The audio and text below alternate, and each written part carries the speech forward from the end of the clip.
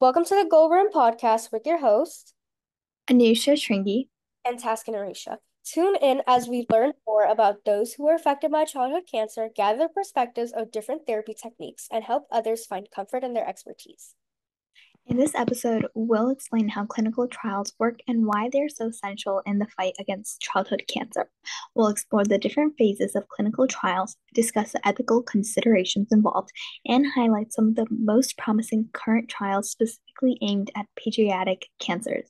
Whether you're a parent considering a clinical trial for your child, a healthcare professional, or someone who's simply interested in medical research, this episode is for you. Join us as we understand the vital role of clinical trials in advancing childhood cancer treatment. So, clinical trials are research studies performed in people that are aimed at evaluating a medical, surgical, or behavioral intervention. They are the primary way that researchers find out if a new treatment, like a new drug or diet or medical device, for example, a pacemaker, is safe and effective in people. The purpose of it is for, especially the main ones, is determining whether new treatments or interventions are safe and effective, finding better ways to prevent, screen for, diagnose, or treat diseases, and improving the quality of life for people with chronic illnesses. So there are different phases of the clinical trial, which is phase one, two, three, and four. So phase one is trials that test an experimental treatment on small groups of people, like 20 to 80, for the first time to evaluate its safety, determining a safe dosage range, and identifying side effects. Then there's phase two, which is another experimental treatment given to a larger group of people, so 100 to 300, to see if it's effective and to further evaluate its safety. Now, as you can imagine, phase three is a treatment given to an even larger group of people, 1,000 to 3,000, to confirm its effectiveness, monitor side effects, and compare it to commonly used treatments, as well as collect information that will allow the treatment to be used safely. Now, for phase four, these studies are done after the treatment has been marketed to gather information on the treatment's effects in various populations and any side effects associated with long term use. How are they designed and conducted? So, in terms of des- designing, these clinical trials are designed with a specific protocol that includes the study's objectives, the criteria for participant selection, the schedule of tests, procedures, medications, and dosages, and the length of the study. As for conducting it, they are conducted in phases, starting with small groups, like I mentioned, to assess safety, and gradually increasing the number of participants to evaluate efficacy and monitor side effects. Trials are often randomized and controlled in order to reduce bias. And so it's also important to understand how these clinical trials are designed and conducted. And so sometimes they are randomized. Uh, participants are randomly assigned to different treatment groups. Um, and this eliminates selection bias and it ensures the reliability of results. And then there's also blinded studies, and this includes single blind, where participants do not know whether they are receiving the treatment or placebo. And there's also double blind, which means the participants and the researchers are unaware of who received the treatment or placebo, and it minimizes bias from both sides. And there's also a placebo control trial where participants receive either the experimental treatment or placebo, and it helps determine the treatment's actual effectiveness by comparing it to no active treatment. And then there's also protocol development, and this involves a detailed plan that outlines the trial's objectives, designs, um, statistical considerations, and organization. And it also includes like the dosages, duration, and assessment methods. Um, and oftentimes, participants are rec recruited by um, eligibility criteria. And so this can be multiple factors. This can include age, gender, disease type, stage treatment history, um, and there also has to be informed consent. Um, and there also has to be continuous assessment of participants to ensure their safety and well-being. And then um, data that is stored has to maintain integrity and um, accuracy. And so what is the importance of these clinical trials in childhood cancer? So, um, the development of new therapies. Um, clinical uh, trials have helped in introducing new therapies that have improved survival rates and quality of life for cancer uh, children with cancer. And um, sometimes they may focus on targeted therapies that attack cancer cells with fewer side effects. Um, and then also it optimizes existing treatments um, by determining the most effective dosages, combinations, and schedules, and overall just increases survival rates. And so the example of uh, specific uh, breakthroughs achieved through clinical trials um, includes um, acute um, lymphoblastic uh, leukemia, and this has led to the development of combination chemotherapy regimes, and it results in a significant increase in survival rates. Um, there's also um, trials that have been done um, in cases of neuroblastoma and also retinoblastoma, which we talked about before. And through these clinical therapies, they have been able to target um, tumors and the uh, delivery of drugs to the tumors and preserve vision and reducing um, side effects. And then the current landscape of clinical trials, um, there's active trials going on. Numerous ongoing trials um, are investigating new treatments and combinations of therapies. Um, there has also been a lot of collaboration. Um, it's essential for pooling resources, expertise, and patient uh, populations. And trials have been increasingly focused on personalized medicine and utilizing genetic and molecular profiling to tailor treatments to individual patient cancer um, side effects and outcomes. Of course, with any new technology emerging, there are ethical considerations to be considered in the pediatric clinical trials. First of all, ensuring the safety and well being of our children, which is the number one most important thing. So, risk benefit analysis are extra protections which are required for pediatric trials, including a thorough risk benefit analysis to ensure that the potential benefits justify any risk. There is obviously minimi- minimizing invasiveness, which are efforts made to minimize invasive procedures and incorporate child-friendly study design and ongoing monitoring, which is continuous safety monitoring with strict stopping rules if adverse events occur. Of course, there is informed consent consent process and the role of the parent and guardians in this process. A comprehensive explanation must be done by the study's purpose for a detailed explanation, procedures, risks, and potential benefits. And there's also voluntary participation, which is the emphasis on the voluntary nature of participation and the right to withdraw at any time. And finally, there is child assent, which is in addition to parental consent, age appropriate assent from the child is obtained when it is possible. Another ethical consideration is regulatory oversight, which is FDA regulations, institutional review boards, and Pediatric Research Equity Act. So the FDA regulation is specific regulations by the FDA for pediatric research, ensuring additional protections for children. There are institutional review boards which review and improve clinical trial protocols to ensure ethical standards and participant safety.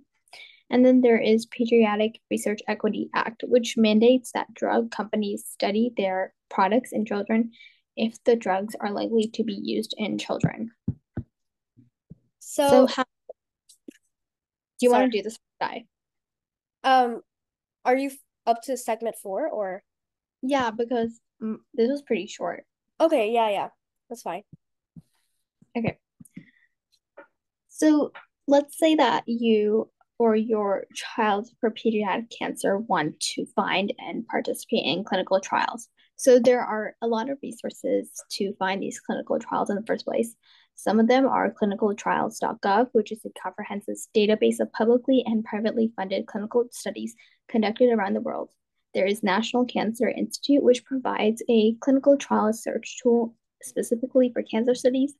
There is a Children's Oncology Group, which offers information on clinical trials for pediatric cancers. And then there's patient advocacy organizations, which is organizations like Alex's Lemonade Stand Foundation, which offers trial navigators to help families find suitable clinical trials.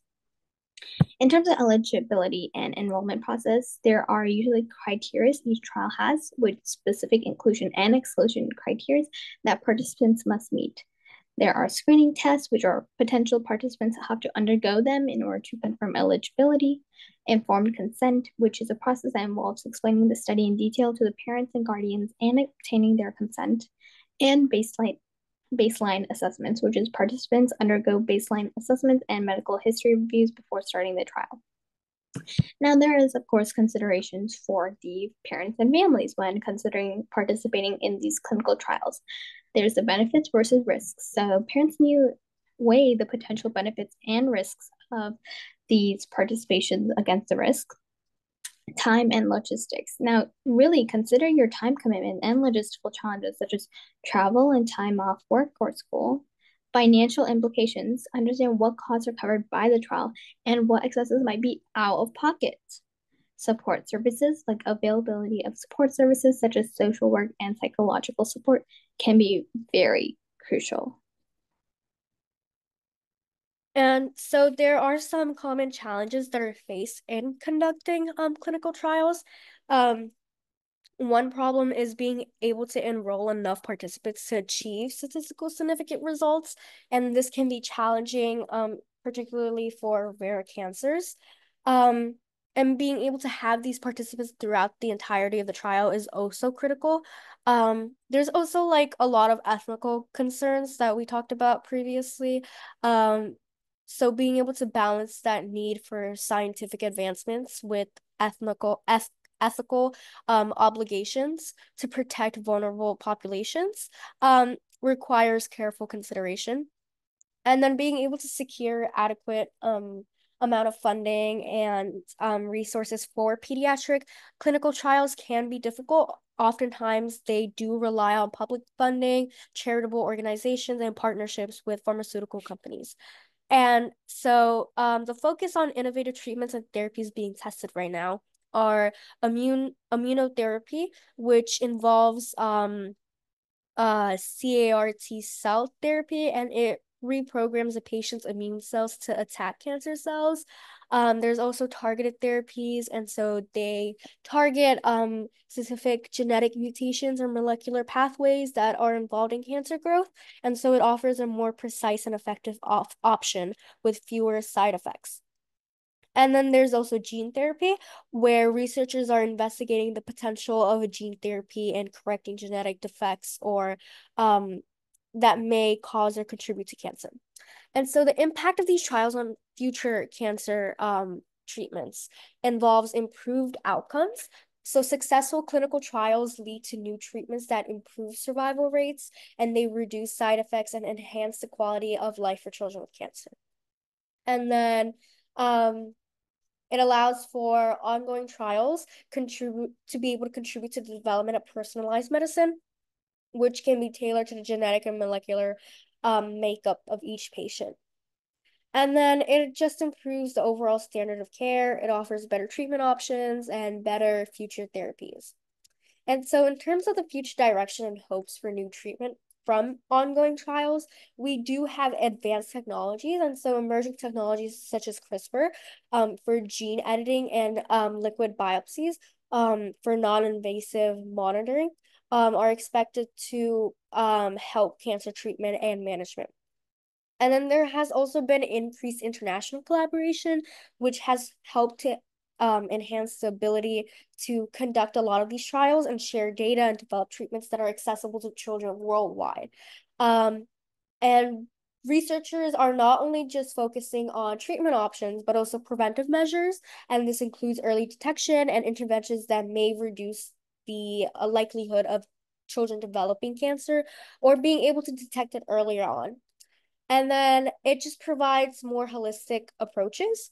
And so um, it doesn't just address um, cancer, but addresses the overall well being of the child. And this includes mental health, nutrition, and supportive care. As we delve deeper into the stories and experiences of these remarkable children and their families, you might be wondering how you can turn your empathy into action. If you've been moved by the stories we've shared today, and want to make a positive impact in the lives of the children battling cancer. Meet Cancer Kids First, a nonprofit organization driven by the vision of improving the childhood experience of young cancer patients. Led by now college freshman Olivia Zhang, Cancer Kids First is on a mission to bring smiles and hope to these brave warriors. Are you wondering how you can join this heartfelt movement and contribute to their cause? Here's your chance. Through volunteer efforts, donations, fundraising, and the very creation of the podcast you're listening to, the dedicated individuals at Cancer Kids First work tirelessly to make a meaningful difference. If you're eager to become a part of this journey, visit www.cancerkidsfirst.org slash get dash involved to explore the ways you can get engaged. But that's not all by tuning into the Gold Ribbon podcast and following us on Instagram and TikTok at the Gold Ribbon Podcast and Twitter at TGR underscore on air. You'll be showing your support in a unique and impactful way. We're also just an email away at the Gold Ribbon Podcast at gmail.com, eagerly waiting to connect with you. And mark your calendars because our episodes come out twice a month, ensuring a consistent dose of inspiration and insight. Remember, every action, big or small, can contribute to brighter childhoods for these young cancer fighters. So let's unite, make a difference, and be a part of the journey with Cancer Kids First. Thank you for joining us on this episode of the Gold Ribbon Podcast. We're always eager to hear your thoughts and ideas for future episodes. Feel free to explore the link in our Instagram bio to contribute and get involved. Thank you for listening, and until next time, take care and be well.